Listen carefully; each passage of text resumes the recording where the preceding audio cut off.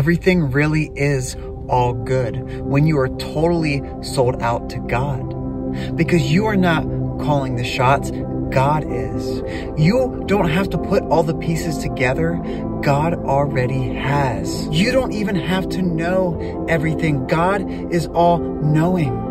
You just have to seek him every day. You just have to deny your flesh every day. He has already shown us and he has spoken what the standard is. We are to imitate him. So what can this world do to you? The Bible says, take heart. Jesus has already overcome the world. And if your worst fears happen, the Bible says to be absent from the body is to be present with the Lord. So don't let anything sway you one way or the other. Stand on God's word. Stand on who he is and his character because it is perfect. So everything really is all good if you are all in for Jesus Christ. Stay encouraged and stay blessed in Jesus' mighty name.